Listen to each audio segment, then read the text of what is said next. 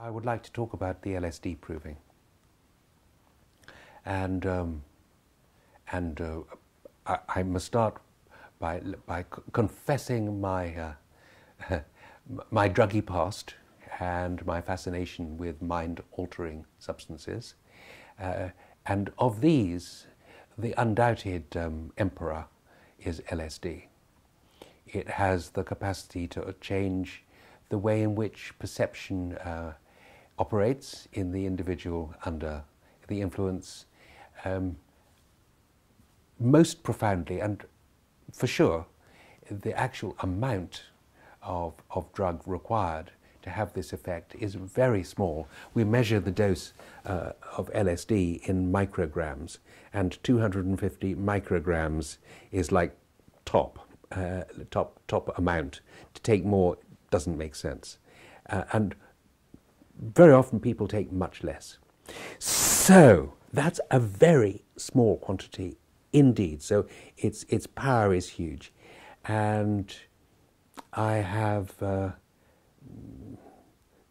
discovered some things, or actually, it will be truer to say, I have remembered some things that I have forgotten under the influence of LSD.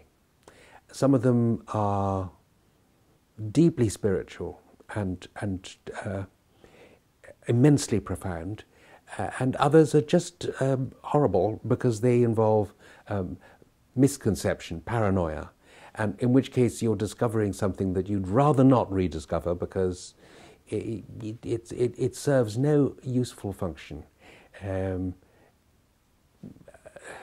that I can detect. Anyway, the point about the LSD proving was that it put the provers into an LSD state. It was exactly like they had all taken some micrograms of the actual substance. Only the LSD intoxication lasts approximately 12 hours and then you come down off the high. Um, and in this case, the effect lasted approximately six weeks. Of course, it was not of the same intensity as one would obtain from micrograms of substance, in that in general it was possible to override the effect by an effort of focus and will. Um, but nonetheless, it was amazingly trippy. So people had experiences that you would associate with tripping. And once again, please check the literature to get an idea of what this is, because individual trips are very individual. And, um, and it's remarkable uh, the way in which uh, information needs to be gleaned from many in order to get a sense of it. But the basic thrust is that the normal structures that hold your, um, your mental capacity your, for analysis, that is to say, are, are dissolved. Um, it's a bit like you're operating with one half of the brain only, and the half that you're operating with is the right hand hemisphere, the one that's uh, concerned with the imaginal world, uh, rather than the concrete world of, uh, of structures. So it's the structured world that dissolves in preference to the imaginal. And this, um, there's a kind of obvious way of understanding that, which is to say the imaginal is the primary and the structure is the secondary. It's what we acquired um, to give us the name Homo sapiens, the, the, the thinking human being. So that's the side that gets uh, eroded or destroyed or, like fungus, actually um, metabolized. It, it, it dissolves, it, it is rendered into goo. Uh, and the imaginal rules. Totally fascinating, don't you think? And the way in which it does it, as I say, is individual. But quite often things have get bigger or smaller, or uh, something that is uh, you know, that would normally be kind of kind of minor, like a cloud. Uh, it covers the horizon. Uh, it becomes an event in the LSD mind of uh, gargantuan proportion. It, it, like this might be the end of the world, the darkening that will that will last forever. And uh, that's that's a that's a paranoid side uh, of, of, of losing the structured um, aspects of the mind because you can't put things in proportion. The proportion's gone. Um, if, on the other hand, the cloud were to pass and what would be revealed is a wondrous sunny landscape, then you'd be in heaven, right? Because the proportion would be gone and your experience would be rather different. So, this aspect of LSD is, as I say, fungus like. I mean, it is derived from ergot on rye, which is, uh, which is uh, a species of, of, uh, of fungus. Um, what else can I tell you about LSD that was really striking? Ah, yeah. There was, uh, for most of the provers, it was an interesting trip.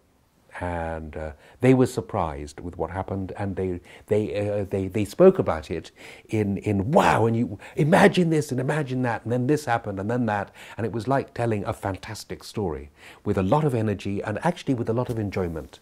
But there was one prover for whom it was a totally devastating experience, for she was somebody whose normal reality was um, to, uh, to, not, to, to experience in every moment the connection to the spirit world.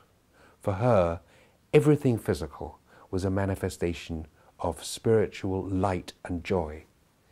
And what happened for her, she lost that connection. For her, those six weeks, whatever, all that connection had gone. And it was a, a shocking revelation of a dark, mechanical, meaningless uh, world. And when we see this, of course, we understand the therapeutic value of the LSD remedy. Yeah? It's, it's not for the joy. We don't cure people of joy, it's absurd. You cure people of the lack of connection to that which is the potential for joy or represents the potential for all existence, actually. If you lose that connection, you're in the dark place. It's a profound remedy for people who are in this kind of spiritual darkness. So it's like the, mm, the dilemma, the energy is the dilemma between the light and the dark, between the beautiful world, which is, which is full of excitement in every moment, in this sense, childlike, innocent, the innocent world, and the dark world that constrains it and most importantly, the transformation of one to the other. Like suddenly the world of innocence collapses and the world of darkness takes over. What was beautiful becomes ugly.